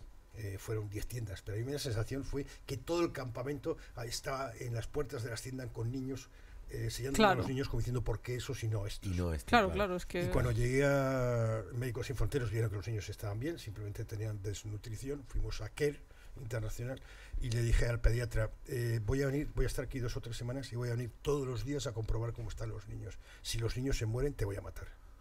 Me dijo, bueno, es un buen motivo para cuidarles. Y bueno. cada vez que iba todos los días a, a verlos, me dice, ¿vienes a ver a tus hijos? Dije, no, no son mis hijos, son los hijos de esta señora. Pero yo Claro. quiero saber que quiero estar seguro que están haciendo algo por ellos. Luego te vas, eh, pregunté ahora cuando acabe el periodo este de un mes que están los niños aquí en cuidado especial, ¿dónde van? Se van a otra ONG donde mantienen tal y luego vuelven al campamento. campo, porque claro. hay más niños. Claro. Entonces, en realidad es, es- es- es- no, no- no haces nada, ¿no? Claro. ni, siquiera, ni siquiera cambias la vida de la gente. Me pasó en Mostar que llegué a un hospital donde iban a hacer una evacuación los españoles y un tipo que estaba de- debajo de no sé cuántas mantas tiritando porque tenía una, una bala en la espalda, eh, me miró y la mirada fue diciendo, llega mi ilusión, o sea, mi, mi- mi Sí. esperanza, el que me va a hacer... va a El, hacer el algo por mí". extranjero, el tipo Claro. Yo de que... repente me miré la mano y yo tenía un cuaderno y un bolígrafo Claro, y me sentí un gilipollas. claro. ¿no? Dije, yo, ¿qué puedo hacer por ti? Lo único que puedo hacer es preguntarte tu nombre, tío. O sea, entonces te- hay- hay- Escribir te- tu historia, ¿no? claro, te, da una sensación de, de buitre, de, de- Claro. de que no estás haciendo realmente suficiente. Pero mira, hablando de, también de lo que hablaba Alba de- del libro que decías de, de las mujeres, ¿no? Como la- la- las víctimas invisibles. También contás un detalle, por ejemplo, en, en la novela, y es al principio cuando aparece la, la fotógrafa, que, que encima, claro, todos se quedan como flipados y, y, y decís, describís, ¿no? Es como una especie de una personalidad. Es- ella es súper atractiva, pero aparte una personalidad fuerte, aparte con muy joven, con 23 años y ya un. que con portada en New York Times y tal. Y terminás diciendo algo así como, como que, que, que, claro, que las guerras. Por así decirlo, no lo decís así y esto, esto suena raro, pero que no está. De alguna manera, como que aqu- aquellos ámbitos son. Y decís esta palabra, decís, estaba rodeada como de la manada. Claro, todavía no había, no había pasado la manada, pero es esa sensación y sin embargo, mira, tanto Es que es Olga Maruja, mundo- la, eh, sí, fotógrafas, Mónica, Mónica García Prieto. claro, Mónica García Prieto, hay un montón de mujeres y que decís, bueno, ahora es como mu- mucho más... Tierra Taro, que creaba Total, Capa. es que te iba a decir, que encima es la que nadie se acuerda y todos nos acordamos de Capa. Pero Maruja el otro día nos decía, decía, yo casi mi mayor preocupación en algunos momentos, que eran casi de paz, yo, yo a veces tenía más miedo en momentos de paz dentro de la guerra Claro. que en momentos de bombas y tal, porque yo de lo que tenía miedo es de que me violasen. Claro. O sea, Es de mientras que me están disparando, raptasen no, y decir, claro. claro. y mientras están di- di- disparando están ocupados en otras cosas que no tienen que ver con las mujeres en principio, ¿no? No, claro. Que es una cosa como muy tremenda Es también un mundo eso. muy machirulo. Ah. Y al hacer la novela, eh, yo tenía miedo que saliera muy machirulo. No, ¿qué va? Yo creo que lo explicas por muy eso bien. He el- tratado de, de potenciar personajes que he conocido, como Claro. Amanda Brice, que es un suma, suma de muchos, aunque es Claro. una exnovia en realidad. Ca- Yo lo imaginé, ¿eh? Lo imaginé, pero será porque Y- hablamos, porque... No, pero es una exnovia que no tiene nada que ver con, con el trabajo este. Ah, vale. No, Pero pues yo tiene como su persona- o sea, Amanda- le has dado como Yo su pensaba, Amanda tiene que Es- existir. es y Mónica aparte que nombra una portada en New York Claro, Times. pero es digo, Mónica García Prieto, que es una mujer terriblemente eh, fuerte, es maruja, es... eh, Sí, hablas de mujeres fuertes. Que es una fotógrafa que De mujeres fuertes y casi que incluso a, a la- a las manadas de periodistas les da miedo. No, Porque que son van, tan... sí, que van de mujer. O sea, no son mujeres Eso. que se tienen que esconder, como contaba una vez eh, eh, a Darío, la fotógrafa de New York Times, que a veces pues tienes que disimularte con camisas grandes para que no se te vean los pechos. No, o sea, no, vayas, no es que vayas en minifalda, pero yo soy mujer y qué pasa. Sí, vas de jean, camiseta y coleta, que no tenés que Sí, de ¿y qué pronto- pasa? No? Evidentemente, si vas eh, y ser mujer en muchos sitios te, da, te, te beneficia, ¿vale? te pueden violar, para mí también. Eh, Sí. Pero sobre todo ser mujer en el mundo musulmán, si eres extranjera, hay una especie de obligación de, eh, de con, con- con el invitado, con el extranjero, Sí. eh, si eres mujer más. Eh, y como contaba, no sé si era Mónica, que claro, cuando eres mujer, ellos piensan que eres idiota, y entonces igual están hablando de planes militares delante de ti. Claro, claro, y te Entonces, conviene. y, y yo, por ejemplo, eh, casos de violación, eh, yo, yo no puedo hablar con una mujer que acaba de ser violada porque yo soy un violador para ella. Claro. Eh, Claro. Y con una mujer que ha, que ha sido violada hace uno o dos años podría llegar a aceptar hablar conmigo, pero realmente yo puedo entender la profundidad de su, de su dolor o no. Claro. Bueno, O- tampoco sé si lo puedes entender si eres una mujer y no te han no, violado. exacto, pero, decir, es una que mujer, tampoco... pero una mujer puede conectar con Eso ella. sí. Para empezar, una mujer puede hablar con ella enseguida. Bueno, eso para empezar. Porque, Claro, eh, hay una empatía sabrás- directa. Sabrás claro. cuándo tienes que coger la mano y esperar. Claro. Y, no, y no tienes que decir nada, esperar, coger la mano y esperar. Eh, Si tú le coges la mano es una agresión, claro. sí, puede- entonces eso lo puede puedes hacer tú porque tú eres claro. parte de, de- de- Tú eres una víctima potencial. Sí, sobre En todo compartes soy- el miedo claro. casi ancestral Claro, que al final victimario. tienes aquí detrás que de años y años de repetición incluso a las occidentales No, aquí, ¿no? que- es sí, como voy. eh, no vayas sola, no sé qué. O sea, todo este, este imaginario eh, se ha además que- alimentado aunque nunca te haya pasado nada directamente, Pero que al final a todas nos ha pasado algo, en algo- siempre. Que o a sea, todas eso- algo- a todas nos han ha sentido pasado, miedo en la calle porque alguien No, los seguía, y, a algo, nos han intentado hacer algo en algún momento, aunque sea una cosa pequeña. Eso es ocurre así, más aquí en los países teóricamente de paz que en los países en guerra, donde, como dices, está la gente más ocupada en, Claro. en sobrevivir o en matar, Sí, pero sí. no en, en Claro, violar. sí, sí. Cierto que muchas de las guerras se libran en el cuerpo de la mujer. Mm. Eh, la violación es un arma de guerra. Fue en Bosnia, en muchos Sí. sitios, en Congo, Sí. eh, Sud Sudán, eh, porque es una Incluso, humillación. incluso en la, en la toma de Berlín de los, Sí. de los aliados. Sí, los rusos y los, eh, Los rusos y los americanos y y los, los ingleses, americanos ¿no? y los ingleses Sí, se pusieron sí. las botas. Sí, sí, porque sí. es una forma de, de humillación y de alguna Al que perdió, ¿no? Sí, Al perdedor. sí, eh, pierdes todo, pierdes la guerra, pierdes el territorio y vas a perder también la dignidad. Claro. Y, y en el También caso hacían los militares latinoamericanos con los secuestrados, claro. y en el caso de África es que, claro, una violación, o bueno, supongo que en muchos sitios de América Latina como Colombia, eh, una violación, sea cual sean las causas, te hace culpable Claro. y te expulsa de la comunidad. Entonces, eh, una violación es matar a una mujer, dejarla en vida muerta. ¿no? Claro. Y por eso yo creo que es tan importante que se luche contra eso. Sí, sí, sí. Eh, bueno, mm, tenemos que ir terminando porque llevamos aquí eh, casi una hora. 15 minutos. Pues ¿eh? es que siempre nos pasa lo mismo y bueno, nosotros siempre pedimos para terminar, nosotros solemos recomendar alguna cosa, pero bueno, a ti es que es muy evidente, o sea, mm, nosotros no lo vamos a saber porque no sabemos ni vamos a saber nunca, ojalá no sepamos nunca lo que es una guerra, entonces no sé si hay alguna recomendación de algún libro que tú crees que a gente que no ha estado ni quiere estar nunca en una guerra le puede explicar de alguna manera o que explique bien qué es una guerra o cómo es una guerra. No sé si, si crees que hay algún libro que pueda ayudar a eso a los... A los a- aparte del famoso de Anna Arendt, Bueno, hay sí. uno que de Slevanka Drakulic, que es una escritora eh, eh, croata que es- no es nacionalista y por eso no vive en Croacia.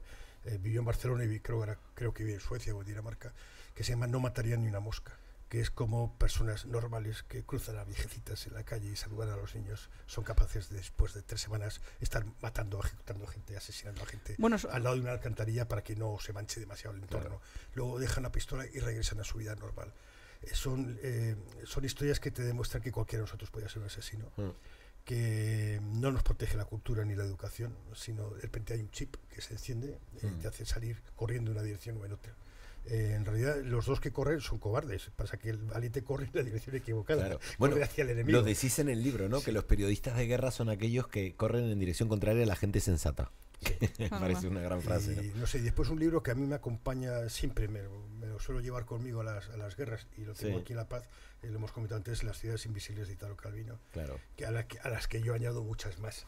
qué bueno. Y, sí. y me ha gustado siempre mucho. Y ahora encima estás escribiendo sobre eso. Sí, sí, y además huele a saber mucho él, porque Claro. es un escritor, eh, quizás con Kafka, eh, el escritor que más me, me impacta. Sí, a mí también el Calvino fue alguien que me Yo creo que es un, mucho. yo Las ciudades invisibles es uno de mis Sí. libros favoritos. Por- Si alguien no lo ha leído, por favor, sí, sí. ya. O sea, además Pero, es un libro que, que seguramente tarde, bueno, depende de cómo os lo toméis, ¿no? Pero podéis tardar perfectamente tres meses en leerlo porque te deja tal impacto Eso en la lectura de, de, un, de, un- de una de esas ciudades, ¿no?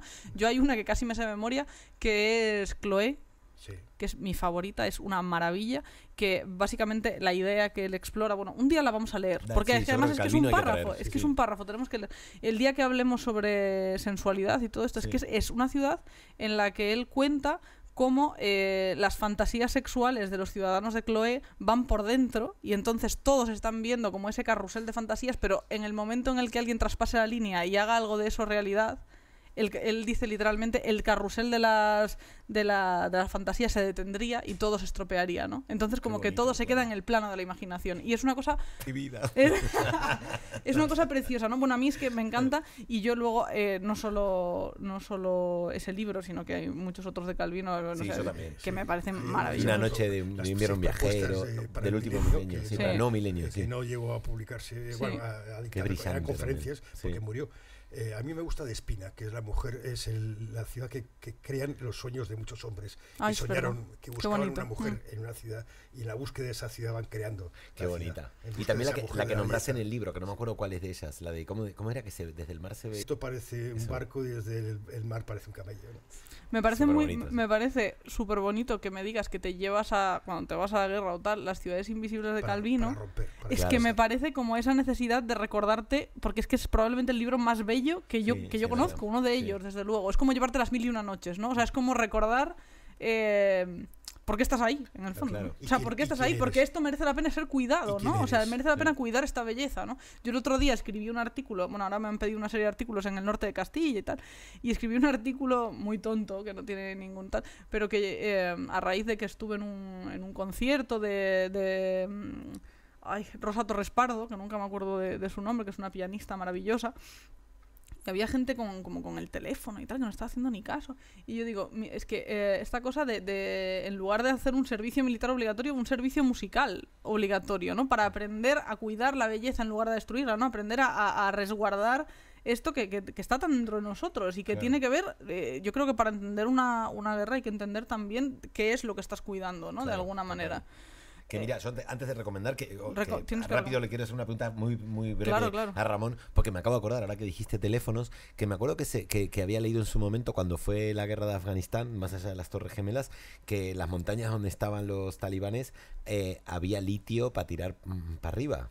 Y que es el lo, lo que necesitamos para la batería de los móviles, ¿no? Eso, eso es así, ¿no? Sí, O sea, pasa mucho a las guerras, ¿no? sí. sí. Que siempre hay una materia prima importante para el mercado global, ¿no? Donde se hace la guerra. Tú puedes comprar lo que quieras.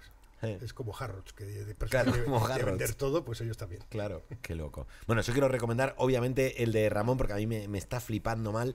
El día que murió Kapuscinski, que es brutal. Y cualquier otro de los de Ramón, que son buenísimos. Todos náufragos es una maravilla. Todo Náufragos, que es una maravilla. También el que hiciste de, de Cuadernos de Kabul, también es buenísimo.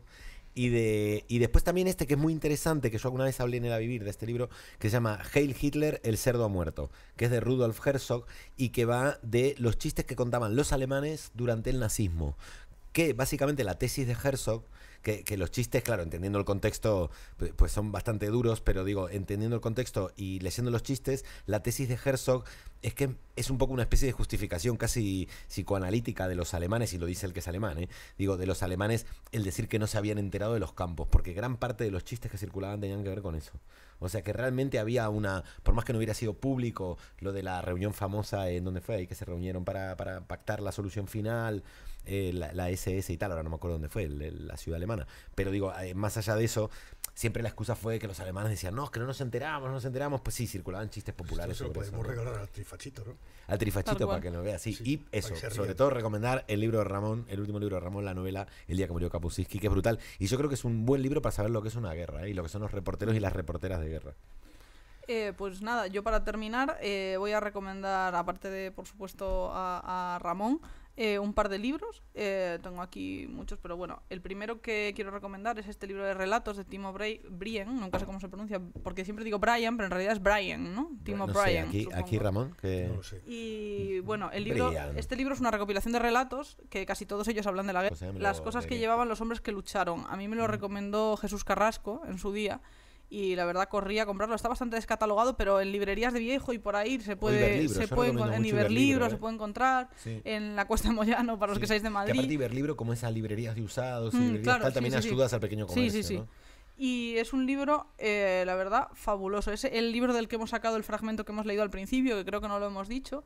Y es un libro de relatos en el que creo además que, mm, que él centra muy bien la cuestión y es capaz de hablar de un poco de, de- de- de cómo la, la cosa como casi tonta, cotidiana, se, se introduce ¿no? en, en- en el seno de una guerra que en el fondo a veces los propios soldados mm, no saben muy bien por qué están ahí, o, ¿sabes? Es como, bueno, sí, la patria, no sé qué, es como, mira, chica, yo, mi novia está en no sé dónde y, y yo quiero saber si sigue siendo virgen o si ha ido con el hijo de puta aquel, ¿no? Es una cosa que, o sea, quiero decir que, que tiene como esta cosa eh, de, de- de buscar lo cotidiano y lo que de verdad les importa a la gente que está allí, ¿no? Y es un libro estupendo. Y luego este es un libro muy bonito que no habla exactamente sobre la guerra, pero habla sobre la pena de muerte. Y habla mucho además sobre la pena de muerte en tiempos de revolución y en tiempos de guerra, ¿no? Y son, eh, do- en realidad son dos libros, son dos pequeños ensayos, uno de ellos de Albert Camus y otro de Koestler, y eh, hablan los dos sobre la pena de muerte. Uno de ellos habla sobre la horca y el otro sobre la guillotina por cuestiones obvias, ¿no? Pero, pero son dos libros fabulosos, son, son teóricos, ¿eh? Son, Sí, vamos, son como ensayo, ¿no? ensayos, sí. Pero son dos libros fabulosos para comprender un poco eh, esta cuestión que hoy en día sigue ahí. Ahí está Pablo Ibar, ¿no? Que se acaba de librar por la mínima y sigue en cadena perpetua, ¿no? Pero para comprender un poco desde el punto de vista filosófico, desde el punto de vista moral, eh, la problemática de la pena de muerte. Y es muy... A mí me gustó mucho. Y aparte Así que que- los autores, ¿no? Que Que se llama autores. Ernie Pyle. Sí, Ernie Pyle. Ahí están los cómics de Ernie Sí. Pyle de los años. Este fue un 60, grande ¿no? O reportero de la 50. Segunda Guerra Mundial. Tiene un libro que se llama Hombres eh, Bravos, que está traducido, Sí. o Valientes, que está traducido, Brave Men, que está traducido en Ujú. castellano. Este es el periodista de los detalles. el que- bueno. Está contando una, una batalla a través de una vaca que está, eh, eh, los restos de una vaca enganchada en una... Qué eh, bueno. Y este es un, es un gran periodista para entender la Segunda Guerra Y me perdonarán porque no me acuerdo si fue Hugo Pratt, pero creo que fue, creo que fue Hugo Pratt que en los años 50 publicaba en Argentina en la revista Bracero las historias de la vida de, de Ernie Pyle. Sí, él murió en Indochina en un, por un francotirador, eh, ya casi Claro. al final de la guerra. Claro. Y bueno, y otro, otro libro, que es un libro fa- fabuloso, pero es que esto lo podría recomendar para casi cualquier cosa que tú quieras entender, leer a Marvin Harris siempre es una buena idea, a priori, porque es que el tipo es una de las personas más lúcidas a las que yo he leído nunca. Y en este libro, que se llama eh, Vacos- Vacas, Cerdos, Guerras y Brujas, siempre digo mal el título, Sí. eh, uno de los capítulos, bueno, creo que son dos, pero uno de ellos habla sobre las guerras primitivas y sobre cómo las tribus y todo este rollo se enfrentan y cómo las reglas de la guerra primitiva, es un capítulo igual de 20 páginas, son en- muy diferentes ¿no? a las guerras a, la- a las guerras modernas o a las reglas que tienen las guerras que hoy conocemos y seguramente ahora que estamos también en un cambio de paradigma y que también las normas de las guerras tal y como las conocíamos igual que pasó entre la primera y la segunda mundial de la segunda guerra mundial hay mucha diferencia porque eh, la tecnología avanza y todo cambia ¿no? y hoy que a lo mejor también estamos en un cambio de paradigma es bonito leer esto y ver cómo eh, hay reglas que realmente eh, eh, se mantienen a pesar de todo, ¿no? Y que siguen siendo como toque de, de piedra de toque de, de- de toda civilización y raza que decía Chesterton, ¿no? Y es un libro, aparte de eso, todo lo demás que cuenta es fan- fantástico, pero el capítulo de las guerras primitivas es estupendo, la verdad. Ya tengo literatura para ver. ¿eh? El último intento de organizar la guerra fue el fútbol. Qué- El claro, del. Qué fuerte esto lo dice que hay un libro que habría que un día hablaremos del de Wisinga, el de Ludens. Ay, qué maravilla de libro, Sí, por favor. Que le dedica mucho al tema de la seriedad con la que se juegan los deportes como Sí. el fútbol y que es una especie de canalización de la guerra llevada a lo lúdico y tal, ¿no? Y de la tribu. Y de la tribu, claro. Sí, sí, sí, es verdad. Claro, en el pero fondo es un rito, en el fondo es un rito de, de- de- de que, que- que puedes leerlo así, ¿no? Y es lo que defiende Huizinga, que simboliza una guerra, ¿no? o sea, pero, sí. pero en lugar de Cuando habla de matar gente de seriedad verdad, pues juego, dices, ¿no? vamos a poner unas, Unas unas normas y en base a esto eh, nos enfrentamos, ¿no? Pero que, que nadie, o sea, como mm, de alguna forma es como que lo, lo canalizas, Lo ¿no? canalizas Es- ahí. es- es Pero más fútbol y menos guerra, ¿no? estupendo.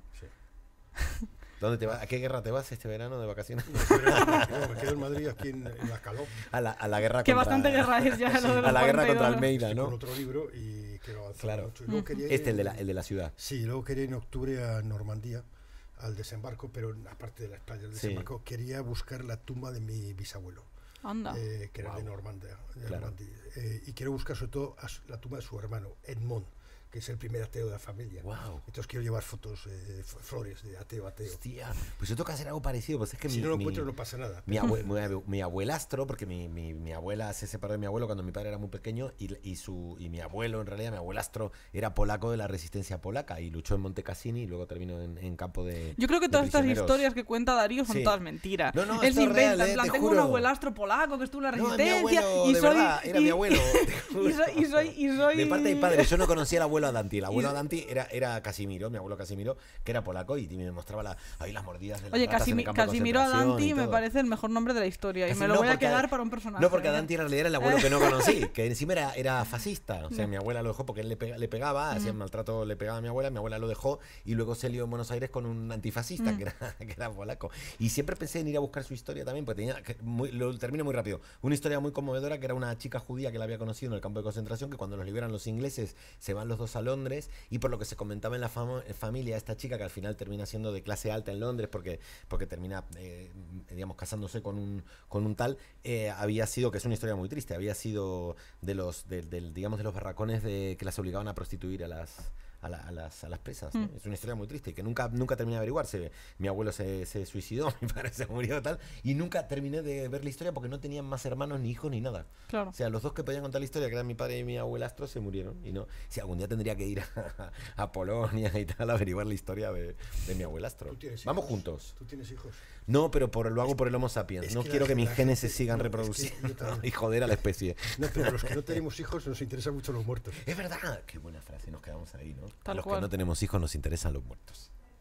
Gracias, Ramón. Sí, hay más pertenencia con los muertos eh, Sí. queridos y familiares Es o amigos que con los Porque no- como no puedes proyectarte hacia adelante, pues no te queda más remedio que Sí, dar la vuelta, ¿no? que echar el freno de mano y... Y además, no sé, yo que no creo en Dios, pero soy muy africano en una cosa que me gusta, es que los muertos te acompañan en una Sí. realidad paralela. Entonces, yo tengo la sensación esa de que hay diálogos con gente que te, que te está que está ahí, ¿no? Pero no están, no están ahí, evidentemente están en tu cabeza. Y. Tú los has puesto ahí, como hay objetos en tu casa que les das una propiedad mágica, pues hay personas a las que tú le otorgas el derecho a acompañarte. Claro. El muerto reciente es el que te duele, la ausencia, y el muerto ya colocado en su sitio es el muerto que te acompaña. Hay una cosa muy tribal y muy bonita ahí. Yo, em, mi familia ha estado en Galicia toda la vida y es una cosa como no es no es como tu historia que es como de por todo el mundo adelante y tal.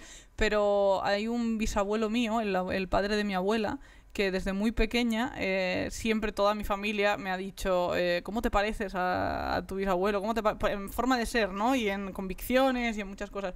Y resulta que era un tipo que tenía una imprenta y que fue de los primeros que con el con la gente de, de Castelao y la gente del, del resurgimiento de la lengua gallega y todo esto como que empezó a tirar en tiempos que estaba prohibido ediciones pequeñas de, de libros en gallego de ediciones eh, de textos anarquistas y todo esto. Y es una figura guay, que está ahí como como Claro. en el imaginario. Me parece muy bonito que toda la gente de mi familia que lo ha conocido porque yo no lo conocí eh, esté de acuerdo en que yo me parezco a ese señor, al que nunca he conocido, ¿no? Alba, Pero que tenés es como muy novela, bonito. ¿eh? Eso es una cosa, próxima es una novela cosa ahí, ¿eh? bonita, sí. Y además, novela. además tengo un, El un imprentero anarquista. tengo un primo que mm, que el- bueno, un primo de mi padre que tiene algunas cosas guardadas y tal como eh, bonito. libros y tal y la verdad es que es una cosa que, que- que yo nunca lo he conocido ni sé nada de él, le he visto la cara en una foto, Claro. ¿no? Pero que lo tengo ahí y digo, mira, pues mm, parece que, que hay alguien que te, acom- que te acompaña, Que te yo acompaña, sé, que está está ahí. ahí, ¿no? Que... Yo tampoco creo mucho en esto de las constelaciones familiares porque, bueno, yo, yo echaba cartas en Londres. Qué Sí, maravilla. leía las cartas, me las inventaba todas. Claro, normal. claro, claro. Y además todo el mundo lo sabía, pero Claro. todo el mundo atendía con mucho. Cobraba un vodka con naranja. Eh, entonces, todos estos que es de, de psicoanálisis y tal, yo siempre pienso que son como yo. Sí. Que se están inventando todo. Es que yo también lo pero creo, sí existen Tal cual, ¿eh? familiares, eh, eh, heridas familiares que se van transmitiendo, eh, tendencias Mm. familiares que se van dando. Yo, por ejemplo, tengo una tendencia a, a estar a gusto en mi casa. Sí. Empecé estando a gusto en un cuarto, que era mi exilio dentro de casa de mis padres. Esto lo hacía mi abuelo. Mi abuelo era médico, llegaba a una casa hostil donde sus hijos eran tan fascistas y se metía en dos cuartos, que era su estudio, y de ahí no salía. Y entonces hay unas cosas que se van repitiendo, no sé, es, es interesante explorar Mm. eso. Sí. Hay como duda. patrones. También yo creo que al final, de tanto que te lo repiten, Sí, te va eh, tú claro. mismo eh, te conformas tu comportamiento en base a lo que te dicen que esa persona a la Claro. que tú admiras sin conocer o a la que tú remites, eh, si no tú sé. escribes, eh, sabes que todo es un juego, ¿no? Claro, Mira, voy a, claro, voy a o contar sea, un chiste así, así para terminar, para contar un chiste que tiene que ver con esto que cuenta Kurt Vonnegut en el libro Payasadas. La cuestión es que los dos protas son gemelos y ella se muere. Entonces, él ya de mayor va a un lugar donde le dicen que han inventado una máquina donde se pueden comunicar con los muertos. Entonces va, prende la máquina y él logra comunicarse con su hermana muerta que está en el más allá. Pero anda mal la máquina porque está recién inventada y la hermana desde el más allá le dice, eh, dice, ten cuidado. O sea, porque el que inventó esto del más allá no sabe nada de lo que es el entretenimiento y esto dura para siempre. Y se corta la comunicación. Qué maravilla. Y él dice, y ya no intenté más Trae, comunicarme la, con mi trae hermana. la tele. Trae la tele. Tráete el mando. Que el del más allá no sabe lo que es entretenimiento, me parece un Mi concepto madre que brutal. tiene 95 años y Alzheimer, Sí. eh, y ahora ya no me dice esto, pero hace Mm. unos meses me lo decía, me decía, mis padres están vivos, no madre, tus padres están muertos, mi madre nació en Londres y tal. Mm. Eh, y tus hermanas no, están todas muertas, tus amigas están todos muertos, madre. No, no hay nadie vivo. Ah, espera, momento, cojo el teléfono y digo, "Ve, mira, un WhatsApp del cielo, tus padres, ah, mira, que comen muy bien, que ponen unas películas estupendas, que es divertido, cuéntame. si es-". Entonces empieza a reír, ¿no? Y ya le digo, bueno, ¿sabes por qué el Pilar, que es la madre de mi padre, que era una facha, y su hija, que era otra facha, eh, no mandan mensajes? Me dice, no, pero digo, porque en el infierno no hay cobertura. ¡Ay, qué bonito! Y entonces me se ríe y me dice, bueno, bueno, pero igual se arrepintieron al final. ¡Ah, qué lindo! Que ya, como cuando te arrepientes ya vale todo. o Ya sea, está todo No, claro. pero en el caso de ella se tiene que arrepentir un año antes, por lo menos. Claro, por lo menos, si no, no, no vale. Al fin, a la puerta ya no, ya no te Ya no, dejan, ¿no? ya no después no de la vale, cola ya no claro. te dejan. Bueno, pues nada, esto ha sido el milenarismo una semana más. Muchísimas gracias por haber venido, Ramón. Ha sido muy divertido. Y nada, como siempre, leed mm, mucho. Buenas vacaciones. Buenas vacaciones, volvemos en septiembre y eso, leed mucho en, en verano, no leáis cualquier cosa por ahí que os den. Mm, esto es como los porros, conmigo en casa no, no te, no te fumes cualquier cosa que te den por ahí, ¿no? Pues igual. eh, Consumid buena mierda. consumid buena mierda. de- Y aparte, yo, yo que me gustan las dos cosas, a mí lo que me ha salvado de ser drogadicto es que me gusta más leer. Y como no se pasen las dos cosas a la vez, Tal cual. me he decidido enfocarme en la lectura. en mi vida. Así que nada, que paséis muy buen verano y volvemos a la vuelta con más cosas y nada, esto ha sido todo. Muchas gracias por estar ahí.